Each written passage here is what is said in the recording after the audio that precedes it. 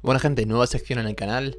Eh, esto viene a ser un noticiario, ¿vale? Que podéis escuchar en forma de podcast, o sea que no tienes por qué estar viendo la pantalla ahora mismo, pero si quieres, por ejemplo, cuando hable los trailers que los voy a estar poniendo, verlos, pues mira, eso que te llevas y así tienes un poco idea o curiosidad de la película, pues te lo llevas.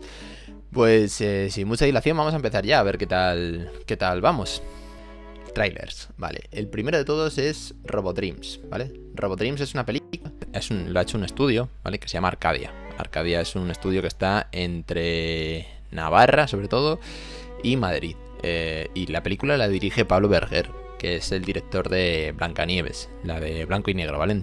Eh, pues es un director de imagen real que se ha pasado a, a la animación. Y la verdad que mola cuando los directores hacen esto. Eh, yo tuve la ocasión de ver esta película en Annecy y os la recomiendo, de verdad. Eh, está muy, muy guay. Además tiene un punto peculiar, que son cosas que ya no se ven, que es que la película es muda, ¿vale? Y también se le da su, toque. Em, la pueden ver tanto niños como adultos, pero es que para adultos, para mí es más adulta que, infantil, aunque un niño la pueda disfrutar igual. Ganó el Contrechamp, creo que se llama, que es un premio en Annecy en un tipo de sección y lo ganó. La tendréis en, cines el 6 de diciembre, ¿vale? Porque no va a salir, que yo sepa, de primeras en ninguna plataforma. Sale directamente a cines. Y pasamos a la siguiente película. Que la siguiente película es... El Rey Mono se llama la película, ¿vale? Eh, y esta película es del mismo estudio que hizo la de Abominable, ¿vale? Que es de DreamWorks pero no la hizo como tal, no se hizo en el, en el estudio de DreamWorks. Eh, el director, o sí, de esta película es el codirector de, de Box Trolls, ¿vale? O sea que, que guay. Y la verdad es que la película eh, no pinta mal, o sea, no, tampoco. Igual estoy juzgando muy rápido, viendo el tráiler solo. Pero no sé, al menos las escenas de acción parece que van a estar bastante entretenidas. Eh, y los personajes son bonitos y demás. Eh, la podéis ver en, en, Netflix, creo que a partir del 18 de agosto, si no me equivoco, o eso pone en la descripción del vídeo que estoy viendo. Eh, le veremos qué tal, ¿vale? La siguiente película es El sueño de la sultana que es, del estudio único, situado en Bilbao, ¿vale? En España. Y la dirige Isabel Arguera. Creo que aún información de, cuándo se estrenará la película, pero eh, sí, que, sí que ya, por ejemplo, tiene una nominación en el Festival de San Sebastián, que eso ya empieza bastante bien. Y se ve un, estilo diferente y fresco. Tiene, tiene cierto toque eh, como si fuese que el niño y la, el, el niño y el mundo. Esta película brasileña tiene como ese aire y una mezcla también con, con Las golondrinas de Kabul, película que también recomiendo. Por cierto, único es el estudio que también ha hecho eh, Unicorn Wars o el corto de Decorado, ¿vale? Eh, Beer Boy, todas estas películas eh, y cortos que de hecho este año hicieron doblete con Loop y con Unicorn Wars en los Goya y joder, mola mucho ese estudio. Y mientras grababa este podcast ha surgido un nuevo tráiler, que es el de Migration, la película de Illumination Macaf. Eh, hasta ahora solo habíamos visto el anuncio de la película, pero no teníamos ni fecha ni nada, y ya sabemos que se va a estrenar este, este año en cines el 22 de diciembre. Yo la verdad es que me he reído con el tráiler, me ha gustado bastante y los personajes me parecen muy bonitos. Así que bueno, pues eh, otra película más que nos llevamos y, que nada, espero que tenga buena pinta y que, y que salga bien, porque la verdad es que en general Illumination no, suele decepcionar. Eso sería todo por el lado de trailers. Eh, si me he dejado alguno, creéis, pues me lo pasáis y trataré de incluirlo la semana que viene, ¿vale? Esta sección intentaré que sea semanal.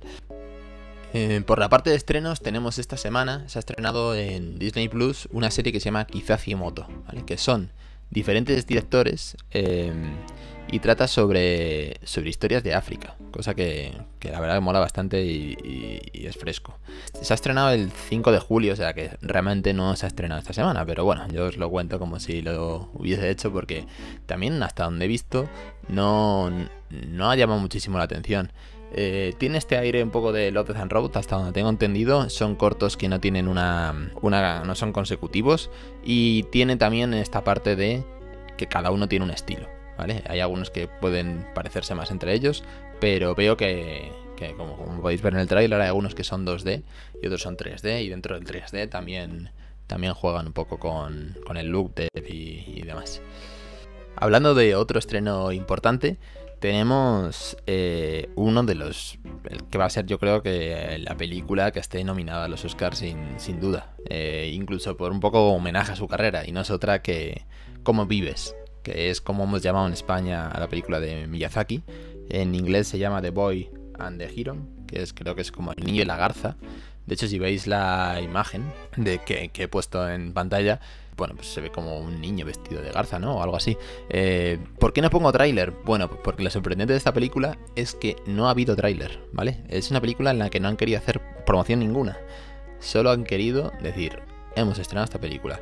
Y la gente que ha tenido la suerte de verla ya, porque solo se ha estrenado en Japón, hasta donde sé, eh, dicen que es, que es una pasada, Que es, el, es una muy buena forma de despedirse por parte de Miyazaki, que todos sabemos que seguramente ya será su última película, porque pues teniendo la edad que tiene y viendo que tarda 10 años en hacer eh, cada película, que la última es de 2013, que es El viento se levanta, pues claro, mm, dudo mucho que, que llegue a hacer otra.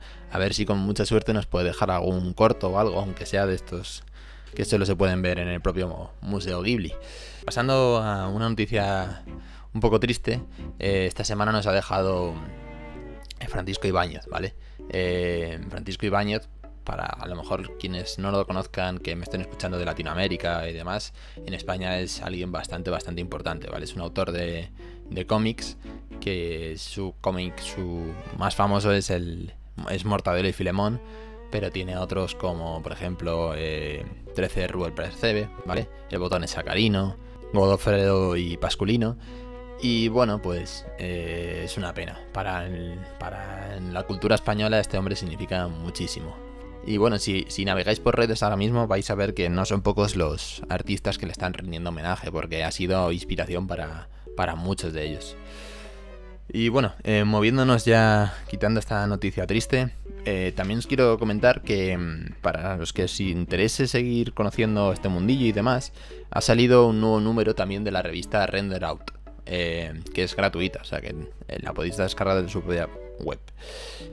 volviendo a la sección de estrenos, se me había decir también que tenemos nueva temporada de Futurama, ¿vale? Futurama yo creo que todo el mundo aquí sabrá que lo que es.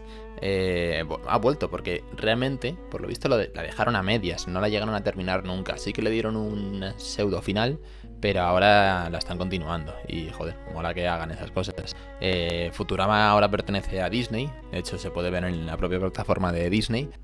Otro estreno más es el de Elemental, que mm, la verdad es que la, prensa no la pone muy bien. Eh, yo, de la poca gente que se la ha visto, he escuchado tanto opiniones buenas como malas. Y en este caso me fío un poquito más de las malas, porque yo habiendo visto el tráiler ya no me inspiraba mucha confianza y la gente que me ha dicho que no mola mucho son gente de la que me fío.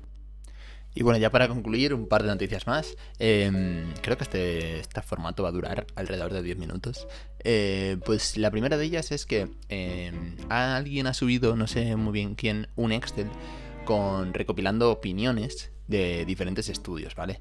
Está muy guay porque te pone eh, cuando se hizo la opinión eh, sobre qué compañía va, qué rol tenía la persona que que hizo la opinión, si recomendaría o no trabajar ahí y cuál es, por ejemplo, el problema principal de la compañía. También tiene una sección de, cosas positivas, eh, de salario, de dónde está el estudio, si te dejan trabajar en remoto o no. Eh, por ejemplo, y cuántas, cuántos años ha trabajado la persona para que tengas, eh, te fíes más o menos de, una opinión, porque a lo mejor una persona que lleva dos meses o, tres o cuatro a lo mejor no te puede contar tantas cosas como alguien que ha vivido eh, el crecimiento del estudio ¿no? y de cada proyecto. Pero está guay porque incluso al final ya sí que tiene como una parte de notas adicionales donde se, se explayan ahí un poquito más. Aunque sí que he visto que mucha gente ha hecho copia-pega, más o menos, porque los problemas eran los mismos. Eh, pero está muy muy guay, la verdad. Lo voy a, os lo voy a dejar en la descripción para que lo tengáis. Bueno, pues espero que, os haya gustado este noticiario. Eh, mi idea es hacerlo como una vez por semana y hacerlo en este tipo de formato. Si, queréis colaborar mandándome cualquier noticia o cualquier cosa que creáis interesante que, que pueda comentar, eh. Me podéis escribir, bueno, ahí os dejo mis redes, al Instagram, Twitter. Es verdad que no los abro tanto como debería o me gustaría o no sé si me gustaría, pero me los podéis mandar, ¿vale? E incluso tengo ahí el correo también en YouTube que es animatropolisoficial.com. Lo dicho, espero veros la semana que viene, espero que lo hayáis disfrutado y cualquier feedback es bueno. Así que nada, se os quiere mucho y hasta la semana que viene.